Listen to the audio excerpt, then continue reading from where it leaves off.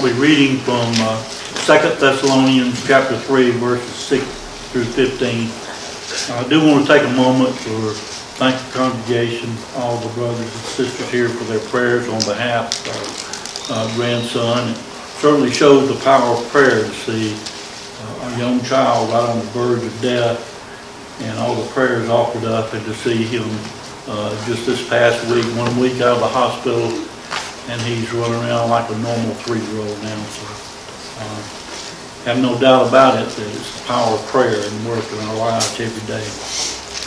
Again, I'll be reading from 2 Thessalonians chapter 3, beginning with verse 6, and uh, we'll be reading from the New King James Version.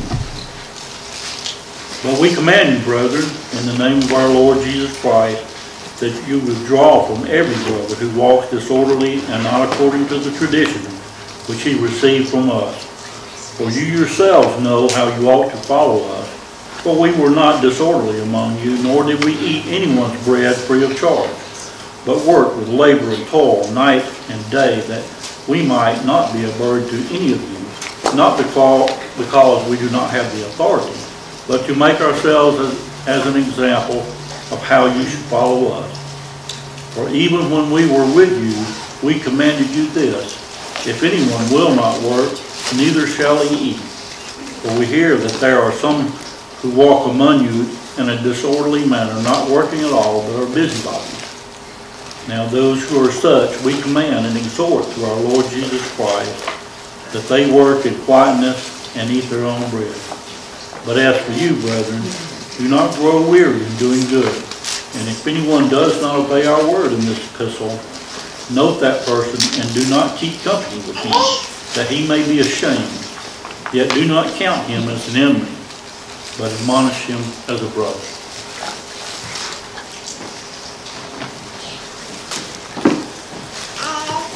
Thank you, Brother Paul. We also are so thankful for the dues of Wesley and so thankful for the very avenue of prayer, which we are able to engage in by the graciousness of God. It is certainly not something that we deserve.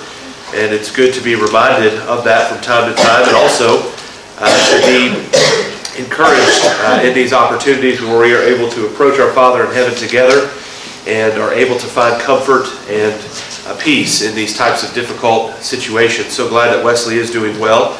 Uh, let's also keep in mind the McFerrin family as Kathy uh, passed from this life Saturday morning, very early in the morning. Obviously, we love our sister Carol, uh, Carolyn, and uh, Olivia, and so thankful that they're here with us and uh, mindful of their loss, and we need to be praying for them. And if there's anything that we can do, obviously, we need to be seeking that out and, and doing it as we're able to. I also want to announce and make sure that everyone's aware of the um, upcoming baseball game that will be the uh, uh, Gwinnett Stripers that will be taking place in June. Um, that is listed and noted there on the bulletin. $11 is the cost of tickets. Uh, anyone who is interested in attending, please uh, jot your name down and the number that will be going in your party on the list outside in the foyer. And we will be uh, purchasing tickets as a congregation, and then we'll let you know um, uh, exactly how to, uh, to make ready for that event. So keep that in mind as well. Also, there are details regarding the work in India and uh, the mission that is taking place regarding Gary Jones and his work and the items needed for the children there in that region. Uh, that is also noted in the bulletin. There are several items listed, and so please keep that in mind. And also, don't forget about the blessing bags. Uh, I hope that you're taking those blessing bags and taking them out into the community. Uh, I know that it is an encouraging opportunity to engage in trying to serve others and looking for ways in which we can assist in their needs physically, and hopefully it might open doors and opportunities for us to assist them when it comes to spiritual things. Uh, Paul just read a few moments ago in 2 Thessalonians chapter 3, 6 through 15, a topic that oftentimes is uncomfortable for brethren. It is a topic that is not something that folks get excited about. It is a topic in an area in the scriptures that a lot of times uh, makes people uncomfortable. It can be awkward. It can be difficult to engage in it. Uh, sometimes the phrase is used church discipline. And really, that's what we see when we think of that phrase, if you've ever heard it before, being described for us here in 2 Thessalonians chapter 3, 6 through 15. Uh, what really is discipline when it comes to institutions? Do uh, institutions in other areas in life engage or apply discipline? And are there moments when discipline is necessary? Well, think with me for just a moment, maybe a work type environment. Usually, work type environments, especially if it's a large organization or a government type entity, uh, no one can be fired just at random. But there are certain so they can get back on track being a good performer once again. Think about even uh, in football or in sporting type events. You know, uh, the NFL season hasn't started yet, it's still several months away, but these teams, these professional teams, are getting ready and preparing for the next season. And in doing so, they have to call all their players to come back into camp and to begin training and preparing for that next season. And oftentimes, uh, if you pay any attention to the sports media, some big shots or some big names think that they are good. They don't necessarily need to show up on time or even show up for several weeks uh, in order to prepare with the team because of maybe their name or because of their popularity. And so uh, these teams then enact different kind of disciplinary tools or, or features or actions in order to provoke these players to get in line and to come back and assemble themselves with the team so that the team can prepare uh, for the season ahead. What about even the family institution? Uh, do families enact discipline? Do they engage in discipline? Absolutely. Think about even young children. We spent some time talking about that last Sunday together as we were thinking about mothers and the responsibilities of motherhood and training their children and disciplining their children. Certainly, children need to be disciplined, and the family unit is an institution where discipline is able to be applied so that behavioral changes can occur. We spent some time looking, for example, in Hebrews chapter 12 verses 3 through 11, we've looked at this passage several times together, but we see how the love of God is actually manifest when we are corrected, when we are disciplined. And so, uh, thinking about all these other institutions, what about God's people? What about God's family? Paul explains to Timothy in 1 Timothy chapter 3 and verse 15 that the church is the house of God. And so, the house of God, the institution that belongs to God, the church, are there certain disciplinary measures that God has commanded and required? And we're going to ask several questions as we think about this topic, noting and stating, as we already have, this is a difficult topic. It's not a topic that folks usually enjoy studying. It's not a topic that people really uh, get excited about engaging in. Uh, similar to potentially a family unit doesn't get excited over the fact that uh, they have to ground their children or they have to remove privileges or they have to spank their children. It's not something that parents just sit in a corner in and say, hey, I'm really excited to go discipline my children. It's something that's uncomfortable, that's uh, challenging to engage in, and it requires commitment and an understanding and wisdom to do so appropriately. And so we're going to ask ourselves several questions regarding discipline in the church. Number one, is discipline spiritual? Is discipline spiritual? In other words, is it even spiritual to engage in discipline? You know, the world would have us to believe that uh, disciplinary type things doesn't have anything to do with Jesus. Why? Because Jesus is loving. God is loving. And so God would never correct us. God would never tell us that we're doing anything wrong because that isn't who God is. That's what the world would have us believe. So to be spiritual then is not to engage in something that is uh, of a correction type nature, but it's to engage in always approval, always tolerance, all the time. Well, look with me back in Second Thessalonians chapter 3. 2 Thessalonians chapter 3, and notice with me here in verse 14. And if anyone does not obey our word in this epistle or in this letter, note that person and do not keep company with him that he may be ashamed. Paul here notes the fact that, hey, I'm writing unto you a letter, I'm writing unto you an epistle, and that epistle that I'm writing unto you is to be the guideline, it's to be your pattern, uh, what it is you're to be following if you want to be right with the Lord. And if you're not going to be keeping after these words, then this person needs to be ashamed so that they can then make correction and make behavioral changes in their life. Look with me uh, as Paul explains to the Corinthians in 1 Corinthians chapter 14. 1 Corinthians chapter 14. Look with me there in verse 37. Uh, Paul will explain to these brethren here that if anyone thinks themselves to be spiritual, they need to acknowledge that the things which Paul is writing unto them are the commandments of the Lord. He will explain likewise to Timothy in the second epistle, chapter 3, verses 16 and 17, that all scripture is given by inspiration of God. God is the one who has provided these words that Paul is writing. God is the one who has made it possible that these letters that have been then provided for us in the New Testament came about, and they are the commandments of God. And therefore, if we want to be spiritual, we need to then align ourselves with what it is God has provided to us. And that's what Paul's explaining there to the brethren in Thessalonica, chapter 3 and verse 14. Hey, uh, our words need to be obeyed. These words that we're writing to you, these letters that we're sending you, they're not just uh, you know notes that should just be maybe glossed over and then tossed into the trash. These are the commandments of God. They are inspired of God. They are to be followed. They are to be adhered to. And so is discipline spiritual? Absolutely it's spiritual. God has given us a certain uh, set of guidelines, a certain set of orders or commands, and they are to be followed. And if they are not followed, then we ourselves are not living spiritually as we ought to be living. And so, therefore, correction is needed so that we can make changes. Number two, is discipline subjective? Is discipline subjective? In other words, is it at the whim of anyone? Is it at the whim of a preacher? Is it at the whim of maybe an elder or an eldership? Is that the whim of just any brother? I think one of the reasons why we struggle with church discipline is because in times past, the Lord's church has overbound in certain areas on certain things. Uh, brethren throughout congregations of the Lord people, uh, Lord's people have started to think, well, if you're not here at 9 o'clock, uh, then you are not right with the Lord because we always started Bible class at 9 o'clock and to change it from 9 o'clock to 10 a.m., well, that's unscriptural. And so those kinds of rules then are set on a congregation of people and bound at certain times. And so people start to think, well, who are you then to tell me that I need to change my ways or my behavior? Who are you to discipline me? Who are you to challenge me in my spirituality when the rules that you are making are not aligned with God's Word? That would be objective. That would be a case where discipline should not be applied. But the discipline that Paul is talking about here, the discipline that God has provided for us, it's not objective. Uh, rather, it's not subjective. It is uh, according to the standard that God has provided to us. It is according to a, a consistent rule as provided in the Scriptures. Look with me there, verses 6 and 7 in 2 Thessalonians chapter 3. But we command you, brethren, in the name of our Lord Jesus Christ that you withdraw from every brother who walks disorderly and not according to the tradition which he received from us. For you yourselves know how you ought to follow us, for we were not disorderly among you.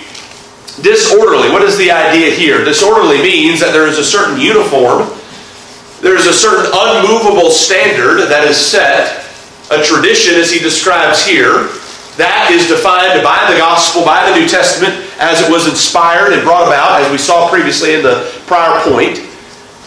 And disorderly is to not walk according to it. In other words, this one here is out of step. Disorderly is when a football player doesn't show up to his football team's practice in order to prepare for the season. Why?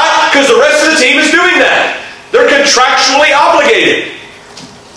To be disorderly is to not show up and assemble with God's people. To be disorderly is to behave and live in a lifestyle in a way that is out of step and not aligned with God's commandments. That's disorderly. And so is discipline as required by God, is it subjective? Is it just to the whim of anyone and whatever they may think might be a reason as to whether or not someone is right with God? Well, they wore a red tie instead of a blue tie. No. It's objective. It's objective. It is unbiased. It is only biased uh, to the scriptures, to God's law. Look with me in 1 Corinthians chapter 5. Here we see a set of commands given by the Apostle Paul because of the misbehavior of one here in this congregation in Corinth. And in verse 11, Paul explains there that he's written unto them not to keep company with anyone named a brother, notice, who is sexually immoral or covetous or an idolater or a reviler or a drunkard or an extortioner, not even to eat with such a person. So we see the extent of the discipline, but we also see here a category, a group of categories of those who would be behaving in a way that is disorderly, that is not according to the tradition, to the law as provided by God. Notice as well in Romans chapter 16. Romans chapter 16. Notice here in verse 17. Now I urge you, brethren, note those who cause divisions and offenses contrary to the doctrine. Paul doesn't say contrary to my opinion, contrary to the whims of another. No, but contrary to the doctrine, those who are causing divisions and offenses, contrary to what it is that we have taught you, what we have provided you by the inspiration of God, you need to avoid those kinds of folks. They're not walking in the way that they should be walking, in the way in which they've been brought up and trained to walk. And so is discipline spiritual? Yes. Is it subjective? No. Is discipline surprising when it's done according to the scriptures? No. I think this is another reason why we avoid it. Well, we don't want to just go up to a brother and tell them, hey, I'm withdrawing fellowship from you because of the way in which you're behaving and just catch them off guard. To do so would be cruel. Well, that actual description is correct. To do so would be cruel because it would be surprising. That brother or sister is all of a sudden indeed caught off guard and all of a sudden wondering, what is it that's going on? Why is it that you're doing this to me? What is it that I've done? And so discipline in the church is not surprising. Notice with me there in verse 12 of 2 Thessalonians chapter 3. Verse 12, Paul says, Now those who are such, we command and exhort through our Lord Jesus Christ that they work in quietness and eat their own bread. Hey, there's a certain level of warning that needs to be provided to these brethren. They need to be aware of what it is that they are to be doing correctly before it is that you carry out verse 14. Verse 14 then is where the prescription of discipline is then described by Paul. But before that ever even gets carried out, first, hey, they need to be aware of it.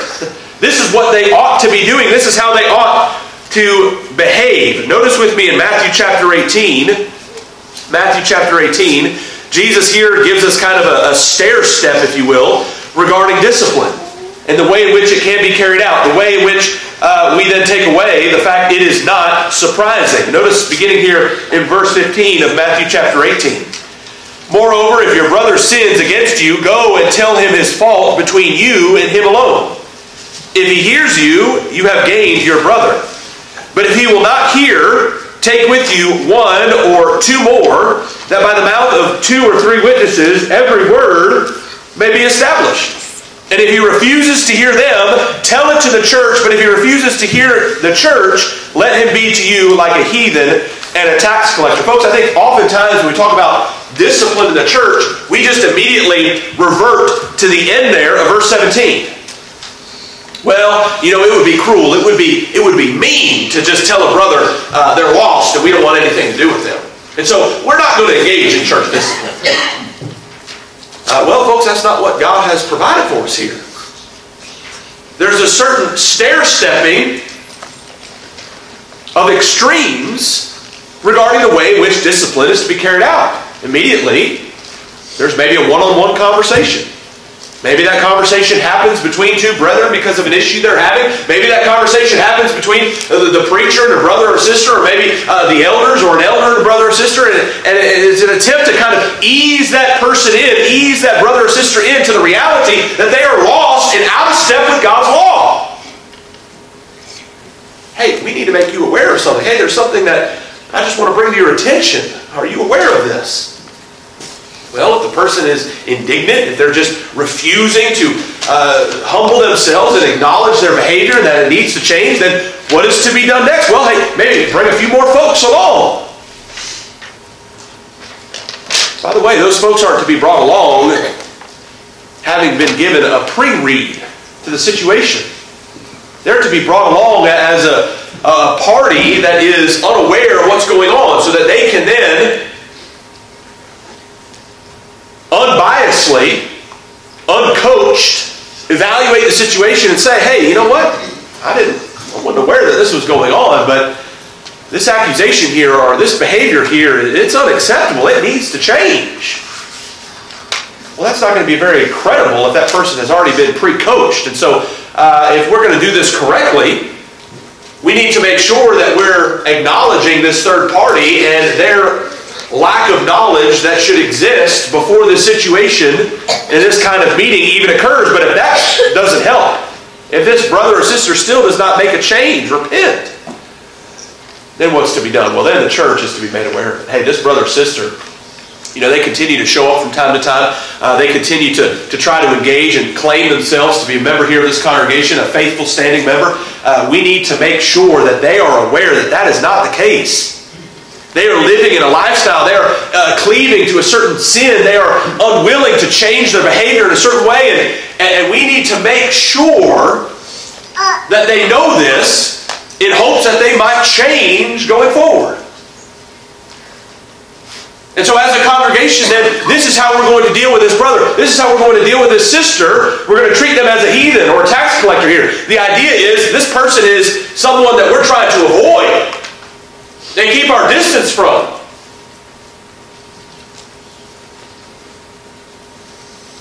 Now folks, again, discipline is not an option. It's not something that just like, oh, well, we choose to do it or we don't choose to do it. That's like saying, well, uh, do you choose to discipline your children? Well, I'm going to just choose not to discipline my children. Well, then you're not going to be the parents you should be being. You don't get that option. Folks, if we're a member of the church, discipline is a reality. It's a tool that God has given us in order to elevate and esteem the church in the position that it's supposed to be in the sight of God. With us. as Paul explains in Ephesians, Ephesians chapter 4. It's the highest institution in the history of all the universe. The church. Folks, this isn't just a social club. It's not just a get-together. This is the army of the Lord serving Him, marching our way toward heaven. And if folks are interested in that, that's a good thing. If folks don't want to be disciplined, folks, that's a good thing. Because what does that mean? That means they want to be a member of the Lord's church in a good, faithful standing.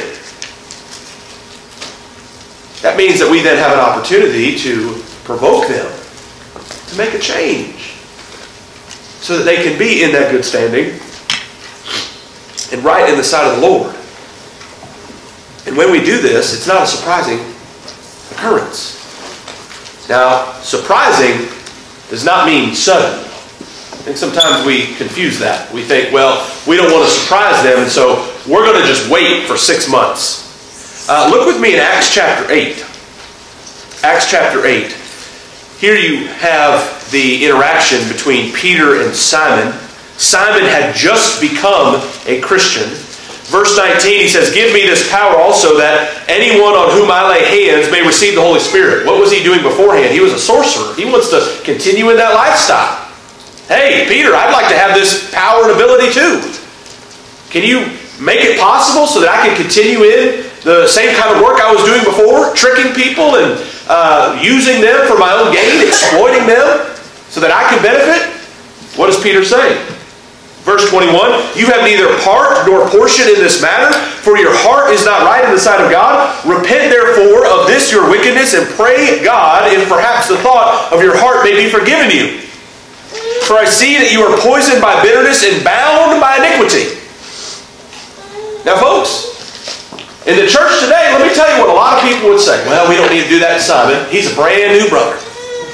He's just a babe in Christ, and you know, we need to be real careful, walk around in eggshells, and just let him think that everything he's doing is completely acceptable and right and approved in the sight of God, and we certainly don't want to tell him he's doing anything wrong.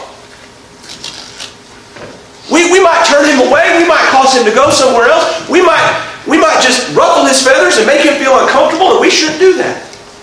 Now, folks, is that what Peter's doing here? Is he saying, I'm not going to be sudden with this brother? No. Peter has a relationship with Simon. Simon's just been baptized. Simon needs to make a drastic change in the lifestyle and way in which he was living and needs to be made aware that it's not okay to continue doing what it was he was doing. Now, Peter does not leave him hopeless. Peter does not say, hey, you're never going to be able to be right with God ever again because of what you just said. That's not what he said. As a matter of fact, what Peter is providing here is uh, an explanation so that Simon won't be surprised. Oh, I'm not right with the sight of God. I need to make a change so that I can be forgiven, so that I can be right with Him once again. And so Simon goes on and responds and says in verse 24, Pray to the Lord for me that none of these things that you have spoken may come upon me. Hey, I don't want to be wrong in the sight of God. I get it, Peter. I'm ready to make a change. I'm ready to repent and change my mind and behave differently. I'm not going to be surprised when it comes to my eternal salvation. Thank you. discipline is not surprising. But, folks, that doesn't mean there are not times where it's not going to be sudden. Sometimes there needs to be. Is discipline snobbish? Now, why would we ask this question? What is the mindset that we might have regarding discipline and those who engage in it? Well, this person, they think they know everything. They think they're better than everybody. They act like they've never sinned before in their entire life. Who are they to tell me that I need to change my life? Who is this elder over here telling me that I need to change my life? Who is the preacher over there preaching scripture? How dare he say this? He thinks he's so perfect? And so because of that mindset and the fact that we're aware of it, what do we say? Well, you know what? I don't want to be snobbish. I don't want to correct anyone. I don't want to tell anyone that they're in the wrong and that they need to make a change and to discipline someone and to call them out on their behavior, well, that's snobbish. Well, folks, is discipline as God has commanded it snobbish? Look with me back in 2 Thessalonians chapter 3. Notice here in verse 15, as discipline is carried out, verse 14, how is this brother who was just disciplined, who was just withdrawn from, how is he to then be treated? You don't count him as an enemy.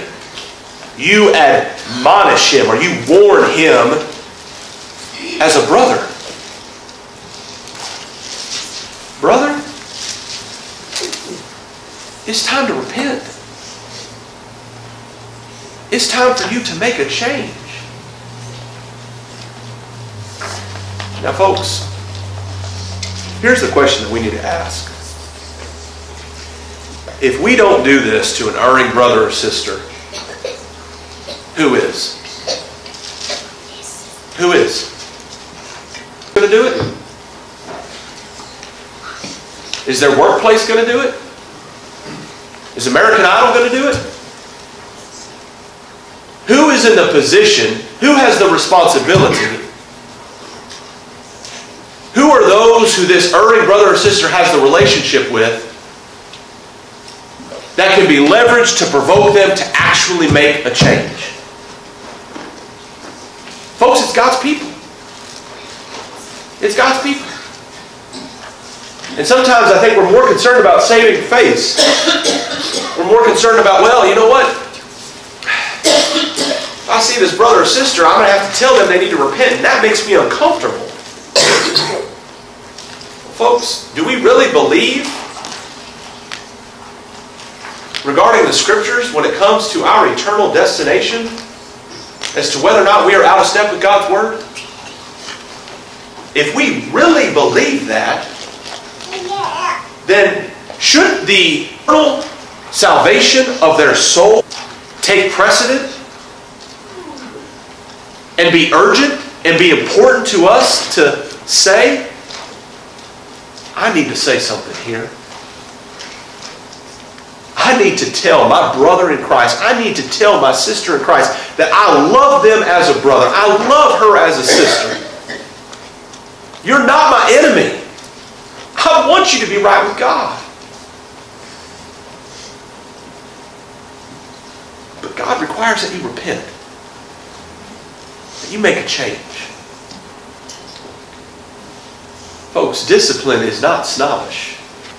Discipline is an act of love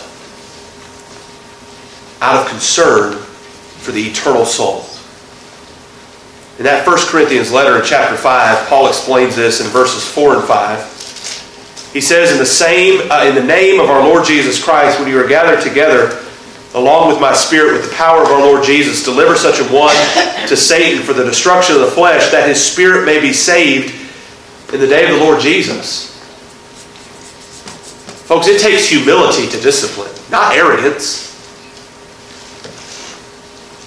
It takes meekness and cleaving to God and His law to discipline. It's not being pompous. And these brethren, as they would carry out this discipline, maybe even initially, got it wrong as this brother made a change. In the second letter in chapter 2, Paul will explain to them verses 1 through 11 you need to forgive this brother. This brother has changed their ways. You do not need to continue on having him be swallowed up with too much sorrow at the end there, verse 7. Therefore, Paul urges them to reaffirm their love to him. And brother, sister, that experience is one that doesn't exist anywhere else. The experience of making up and reuniting once again with God's people. You know, sometimes people say, well, do I really need to go forward? You know, I've been unfaithful to the Lord. I've been out of step with God's law. Do I really need to go forward? Well, here's my question to that kind of thought. Do you want to be reunited with your brethren? Do you want to be in a state of liberty, trusting that you're all on your way to heaven once again with your brethren? Folks, if we've been out of step with God's law, guess what brethren are constantly wondering as you associate yourself with the brotherhood? Where's this brother standing? They committed this sin, or they were engaged in this, or they forgot the Lord for this amount of time previously in their life. Where do they stand now? Do they realize that that was wrong? Do they realize that that's unacceptable? Have they really made a change? Are they really devoted to the Lord once again? Can I really trust them? Can I really embrace them as my brother all the way to heaven above? And folks, once that change is made, once that brother or sister says, hey, I've done wrong, I've been disciplined, I get it, I want to be right with the Lord again, I repent, I'm whole.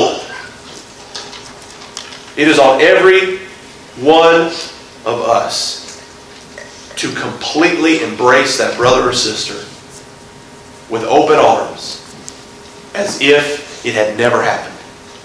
I'm not going to bring it up anymore. I'm not going to remember it anymore. I don't want my brother or sister to be in sorrow anymore. No, folks, discipline is not snobbish. Discipline is actually sensible. It is sensible. Why is it sensible? Well, back to that Second Thessalonian letter chapter 3. Paul explains there in verse 11, For we hear that there are some who walk among you in a disorderly manner, not working at all, but are busybodies. Notice that verse 13. But as for you, brethren, do not grow weary in doing good. Let me ask you a question. What do you think the rest of those football teammates are thinking when Odell Beckham Jr., when Le'Veon Bell, when all the big shots in NFL football aren't showing up to contribute in practice with them? What do you think is going through their mind? Why should I be here? Why is it that I can't be special like this person? Why am I showing up? Do we have a team or not? What are we doing here? What can happen when someone is out of step and out of line with the group? The group then begins to question and become discouraged and say, hey, maybe they're right. Maybe we need to stop trying to hold on to what we're trying to hold on to. Maybe we just need to become as they are, and that way this will be a lot easier. Be a lot easier. That's why Paul says in the 1 Corinthians letter, chapter 5, a little leaven leaveneth the whole lump. And that's why he's telling these brethren here, do not be weary in doing good. Keep at it. Stay the course. Discipline is sensible because it enables us to keep focused on our eternal mission and in our unity to see it through. Folks, open rebuke is better than secret love. Proverbs chapter 27 and verse 5. If we really love our brethren, if we really care about our sister, our brother, and they're out of step, then God has given us an instruction manual, tools in our belt as to how we can win such souls back to His people to live faithfully once again. Are you here this morning and you're not faithful? You've fallen away. You've lived disorderly. You've been out of step. You know it. Everyone else knows it. God knows it. You haven't made it right yet. You haven't fixed it yet. You haven't repented yet. Well, won't you cross that path of trying to be stubborn in your own will, become sorrowful over your sinful living, and repent so that we can embrace you, so that God can embrace you, so that you can be right with Him once again and have the hope of eternal salvation.